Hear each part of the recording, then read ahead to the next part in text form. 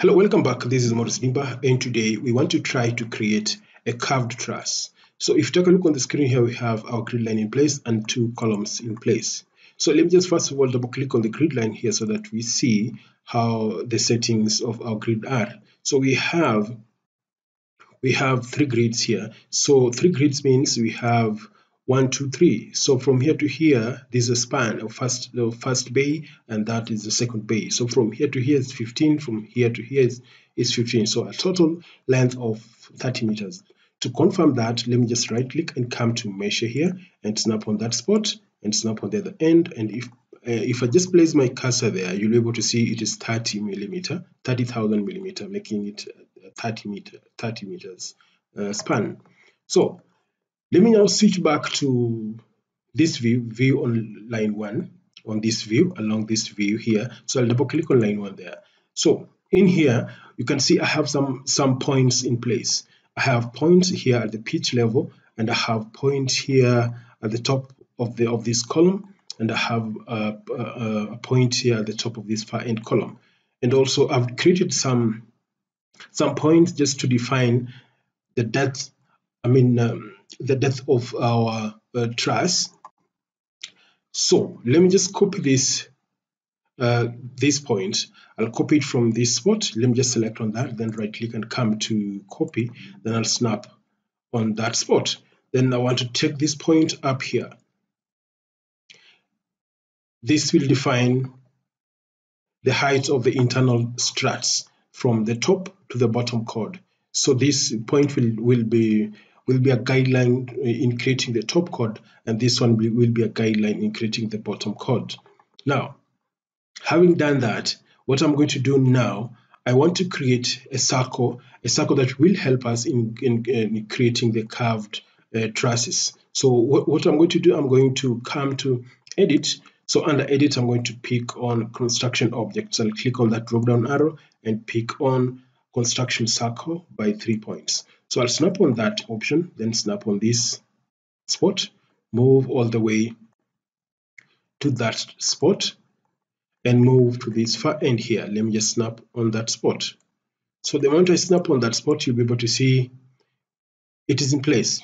But the segments are not accurate. That's why you see it's slightly off the point. And if I zoom this end, you see it's slightly off the point. So the segments I'm talking about, you see one and the, these these things that shows uh, uh, uh, that our circle is somehow a polygon or divided into segments. So I want to increase these segments. So I'll double click on it and come here and the slices or the segments are 32. So I want to create increase these segments or slices to make it smooth circle. So I can add a thousand there to make it smoother. If I click apply, you'll be able to see our lines now uh, cutting across that point and cutting across exactly on that point like that. So you can see that. Now this will be the top the pitch of our of our truss and we want to select on that circle right click and come to copy and I want to copy this truss from that spot and place it right there. So the moment I've done so we have this in place. So let's just forget the the the the part of the circle that's outside uh, these two columns. Now our truss will be curved like this from this end to this end. So the lines just to provide a guideline in placing the steel members. So then uh, the, the the truss we are going to create here is somehow, like a, a space a space truss, but is in in in, in, a, in a curved form. Now I'll, I'll double click on the in here on the isometric view and I'll turn that around. Now on the top chord here, we're missing the top chord. So to bring back the top chord, I want to activate all the levels. So I'll double click in here. I'll double click in here and activate the levels here and click OK. So the moment I do that, I'll be able to have my my guidelines in place. Now, I want to offset the top line, the top end, the, this top circle in the opposite, in, in the, in the z-axis by uh, 300, 300 to make it uh, uh, to make it uh, 600. What I mean will be this, if I just turn this round here and try to hide these levels, let me just select on that or double click on that so that I can be able to hide this. If I click on that, I'll be able to hide those.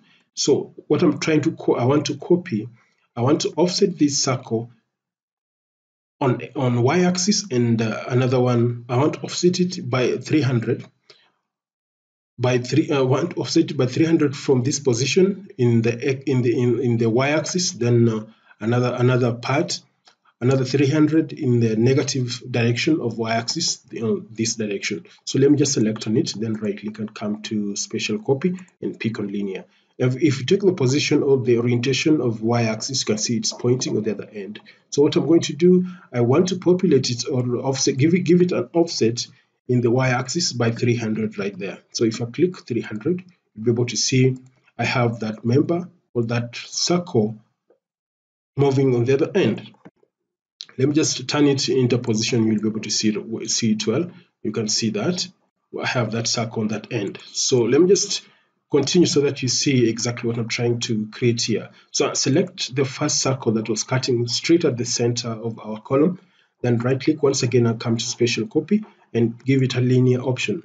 Then I'll prefix this dimension with a negative sign, then come to copy and uh, I'll close that. So as it is now, I have I have my, my three circles on top and one circle at the bottom. So this bottom circle will be defining the bottom chord and the top one will be defining the top chord. This is uh, more of a space truss. Now, once we've done so, we want to create, we want to divide this circle into several uh, segments. So to divide it, we use points. And points, we to, to apply points, let's first of all go back to our, our, our view line one double click and change the rotation to zero default then this is what we have. Now we want to divide this divide this circle into several segments so that will be uh, the uh, dividing into several segments with points. So we'll use the points to create the members or to locate the position of the members. So I'll double click on this member. I'll double click on this circle We'll just uh, select by left clicking, right, right click, then come to lines and circle and divide two points. I'll click on two points there. So we have three options here to divide this particular uh, line made of a circle. I'll pick the option, the, the second option. So I need 150 points along the circle. So I'll click create. So I'll have these points all, all over the circle created there. So that's the first circle. So what I'm going to do, I'm going to just rotate this and select this circle also, and I want to create I want to create same points. So I'll come to line and circle, line and circle, divide to points, and give the same option. I click create points. I close that. Then select on that circle, left click and right click and come to lines and circle, then divide to points. I'll click create, then close. So once we have this, it's very simple. What we, what we are going to do now, we are going to just to create uh, the steel members using pipes or uh, CHS to create a space truss or a curved truss, a, a curved space truss in short form. Now, if I come at far end here between the curved truss and our column, we will find that the curved truss will, will be slightly off our, our, our, our column. So what we're going to do, we want to create some points here. We come there and create and, and divide points here. So I'll snap on that spot and snap on this spot and snap on that spot, which will not be accurate as it is. So what I'm going to do, I'm going to right click and get off that point. So what I'm going to do once again, I'm going to use these two points to get the midpoint right here. I'll come divide points and snap on that point, then snap on this point right here. So I'll have these two points in place. So I want another midpoint between these two points here.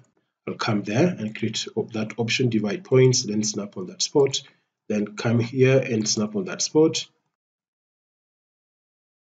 Reason why I'll start my circle from I'll start my curve from that spot. Then from this end, I'll just join it with this. Now let's just zoom out, and we want to create now the curved beam. Now let me just switch back to my uh, to my line one view. Then I'll change the double click on the screen, then change this to zero zero. Then this is how it looks. Now let, let me come to steel, then come to uh, come to curved curved beam. I'll pick on the curved beam there. Then I'll snap on that spot. Let me just zoom close and snap on that spot. Then the moment you snap on the first, we, we are being requested to, to, to define the second uh, spot. Then I'll snap on that particular position at the center there. Then I move to the bottom end here. Then once I click there, you'll be able to see we have our curved beam in place. So this is the size or the profile we prefer to use here. This, if I just uh, if I just double click on it, we'll be able to, if I double click on it, we'll be able to, let me just uh, use appropriate.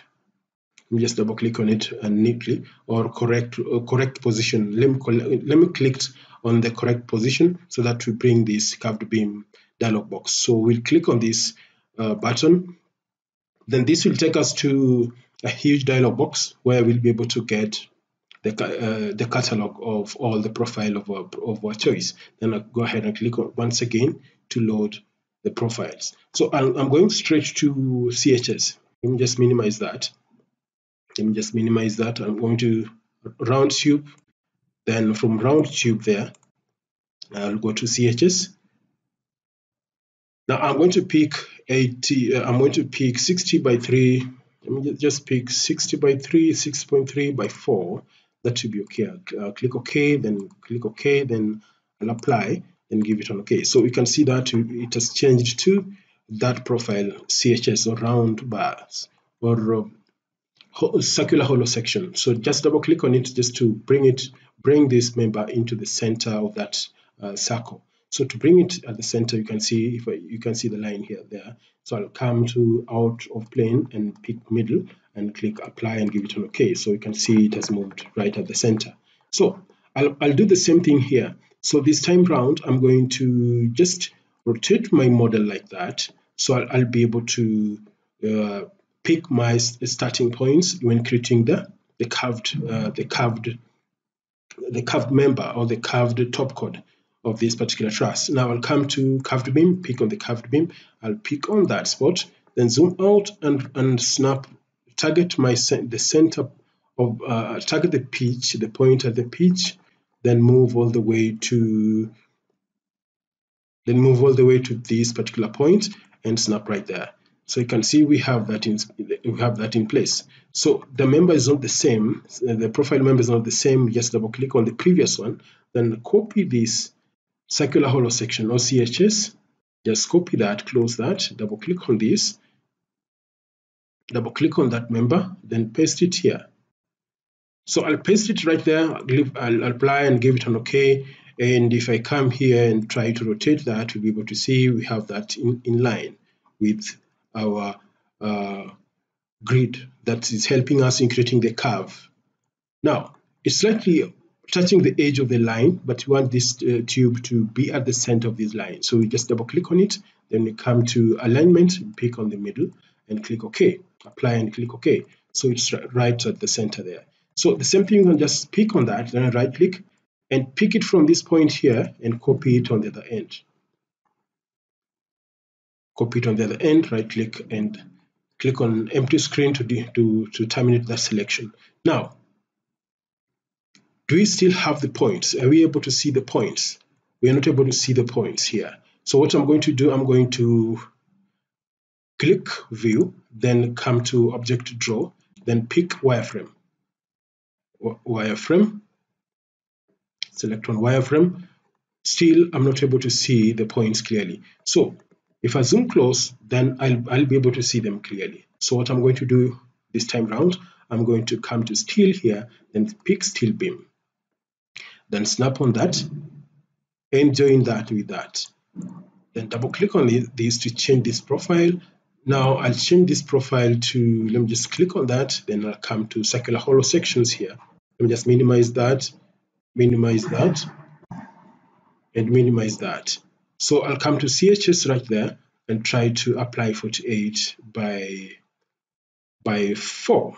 I'll give it 48 by 4 or by 3.6 I'll give it I'll give it an OK then come here and apply set as a default yes and then click apply and give it an OK now if I come to view and come to uh, contour solid you'll be able to see it's slightly off the point or off the line. I'll come back to I'll, I'll double click on this member then come to come to alignment then pick middle middle then click set as default then click yes apply and give it an okay. So the rest I'll be creating will be snapping right at the center.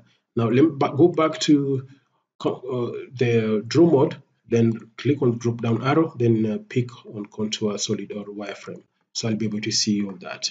So uh, if I come to steel here and pick on beam I'll be able to create all this snap on that and come here and snap on that and come here also and snap on that. So if I come here let me just move and slightly move faster and create another member there. I'm trying to join the top chord the two top chords of this particular uh, space truss or curved truss let me just snap on that spot and snap right there and zoom out and snap right there and snap right here zoom close and target that spot just snap on that spot and snap on this spot then I'll zoom closer and snap on that spot and snap on this particular spot. Then uh, snap there and snap here. It's not accurate and we are there. And if I click on that spot and click here, we've created a, we are joining the two top chords together by creating a member in between and I'll come here and select on that and select on this and select on that point and select on this point. And if I go ahead and select on that point and select on this particular point zoom out and the rest I'll add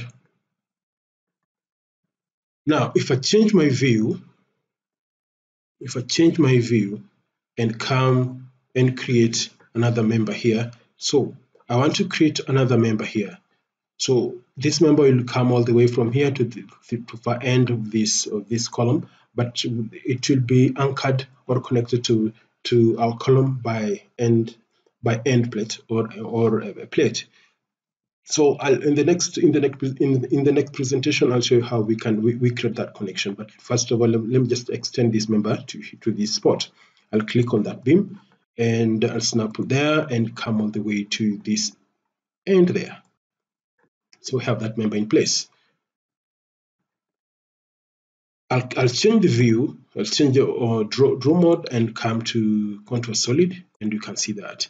If I double, if I, if I select on that, if I select on that member and turn it around, you can see the member is slightly small. So what you're going to do, you want to change, double click on that member, then change this to CHS 60, we'll copy that, we'll close that and double click on this. Then we paste that profile name here. Then click set as default then uh, click yes apply and give it an okay so if you apply on if you do the same at the end which will not ask us or, or to, it will not default on the previous still still profile and size. And let me just snap on that spot. And that one has been done and we'll go all the way to the other end also and do a similar thing. So what we did the other end was just uh, was just creating another member here or creating or defining uh, the midpoints between this and that, I'll come to edit, I'll come to points and pick on the dividing points and I'll snap on that spot and snap on that spot. So we have these two, we have these two points with a, mid, with a midpoint in here. So I want to, a midpoint between these two, the first two. I'll click on that drop down arrow and pick on the dividing points. I'll snap on that spot and create another point there. Snap there and create another one there. So I want to extend this car, this member to join this member. The reason I'm, what I'm trying to do is just to to make the end plate that will be connecting the, the, the, the space truss or the curved truss to the column to make that plate slightly smaller and uh, to, just to avoid the wastage of material right there. Now I'll come to steel and come to beam. Then I'll snap at the bottom end here and snap right here. Then I'll extend this and snap on that spot and snap right here. Perfect. So this is where we are. And I think we can meet on the next presentation where I'll go further on how we can add or we can, we can add the internal uh, members of this particular space truss or curved truss. Let's meet then. This is Maurice Dimba and don't forget to subscribe to this channel. Bye bye.